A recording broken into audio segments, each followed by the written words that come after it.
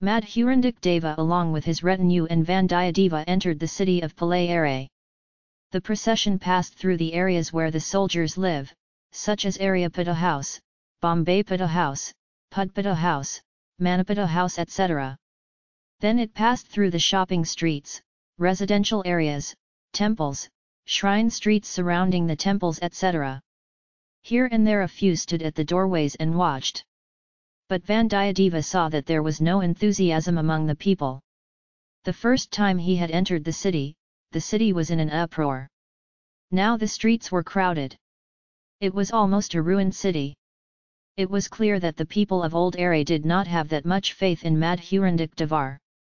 This was in a way comforting for Vandiyathevan. As they were approaching the ancient palace road of the Chola kings, they saw Parayathor's procession coming from the other side.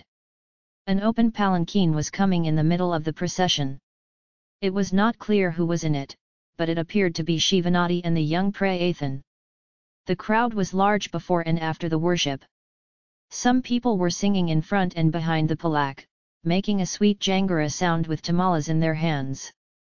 Interspersed with Trikiritam Balam Haraharamekadeva. With slogans of Thirunarayur and Live. Long live Arudsalvar of Palab Pilayar. The slogans also rose up in the air. Madhurandhagar saw the procession with eyes full of sorrow. Looking at the hero from the side, he asked something. Yes, Tirunarayur Nambai is the one who comes in Palaka. He replied. Still, what a hassle. We will find no one in this town to listen to us. Are the people making such a demonstration around this Nambai?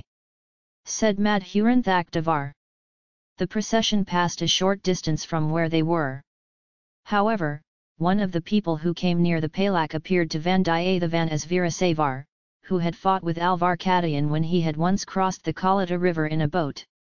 Madhurand Hakateva and his retinue reached the palace road and reached the mansion of Sembian Mathavi.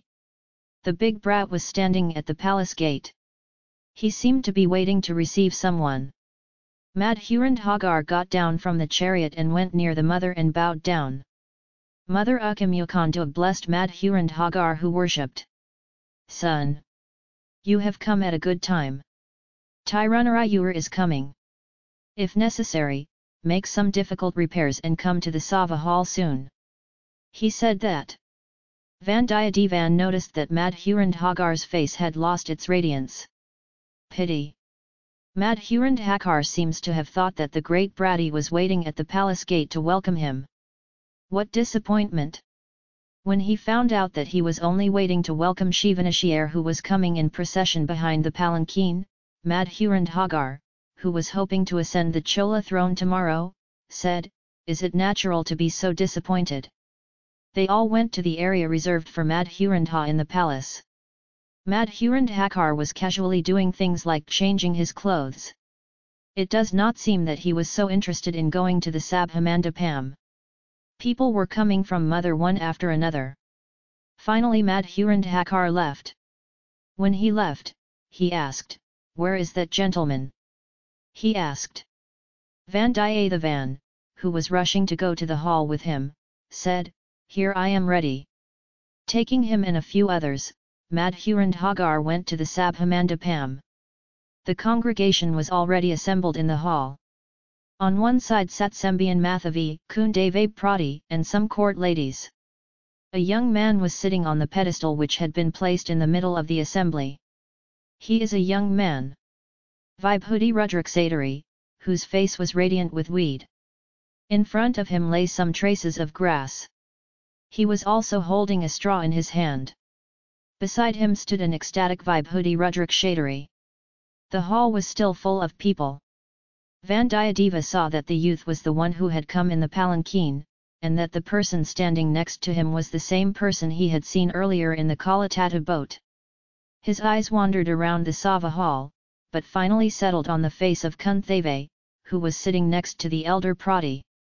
Kundave Devi's eyes showed signs of astonishment when she saw him for the first time. Then the eyes of the princess did not seem to turn towards him. He even doubted that he did not know himself. When Madhurandhagar entered the Sava hall, other than the ladies stood up and paid their respects. When Madhurandhagar sat on his pedestal, the others also took their seats. Sembian Mathavi looked at Madhurandhakar and said, Kumara. This young believer is from Tirunarayur. He has received the full grace of Palab Pilla Iyar of Avar. He has got some Devara Padhikam which no one has found so far. Once upon a time Mangayarkarasiya, who rose in our Chola clan, became the queen of the Pandima country. Heeding his call, the man Pilla Iyar Nanasambandar went to Madurama city. There he defeated the Samamas in the Battle of Veda. At that time in Maduraimanagar, he has got some of the hymns sung by Sambandha Swami. When I listen to those songs, I get excited. If your father had heard it, he would have been very happy, so you should hear it. Madhurandhakar said, Listen, mother. Let the batikam begin. But his face was not so bright. His heart was elsewhere. Thirunira did not like the fact that an ordinary boy wearing a rudraksha was placed as the centerpiece on a big pedestal. He sat patiently to satisfy his mother. Tirunarayur Nambiander Nambai, who was blessed by Palab Piliyar, traced the leaf in his hand and started reading. When Nanzambandar saw the city of Madurai, he said, Isn't this the place where the great Mangayarkarasi lives for the wealth of Shiva Bhakti? He first sang the hymns that he was amazed at. Tears of joy fell from Sembian Mathavi's eyes when she heard the songs. He was filled with joy as he thought about the previous birth privilege that he had been given to live in a clan that had such a kingship and lived as a queen. In the above songs for Madhurandha, only the line Man elam prana man anal manyam mani colon stuck in his mind. He was enraged when he thought that another person was usurping such an ancient and glorious jeweled crown of the cholas to adorn his head. Sambandar goes to see Mangayarkarasiyar. Pandimadavi looked at the Balagara and said, Oh! Where is this young child? Where are the giants like Brahma giants? How can this child fight and win with them? He worries that. Knowing that, Sambandar looks at Pandimadavi and says. When Tirunarayur Nambi Andar Nambai sang the Batikam, Sembian Mathavi used himself as the Mangayarkarasi and Nambai who sang the Batikam as Nanasambandar, forgetting the memory of this world. Madhuranthak Devaro said, Yes, I am a young brat. But I will not be afraid of Thirukovalar Malayaman, Kajumbalar Buddhavikramakesari, and the sons of Sundara Chola who have received their support. Just as Sambandar had the grace of Alava Ieran, I also had the help of Palyavetare. He thought that Vandiyathevan's ears did not hear any song. His eyes and thoughts were fixed on the goddess. Did the younger Bratty not know him at all, was he blind even though he knew, or was he angry that he did not tell him immediately after completing the task he had agreed to do? His mind was thinking like this. Also, he was thinking how to meet Ilaya Prati alone and tell him the news.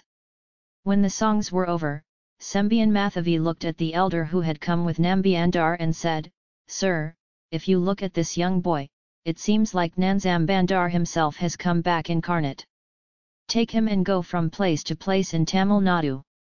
Collect the divine Devara Padhikams available there. You should compile the upper Padhikams, Sambandar Padhikams, and Sundaram Murthy's songs separately. Dot singing should be done daily in all the temples. This is my husband's wish. I wish to see it fulfilled in my lifetime. I will arrange for all the civicas, men, and equipment you need to go from place to place. I am sending a message to my son asking for the emperor's permission. Said.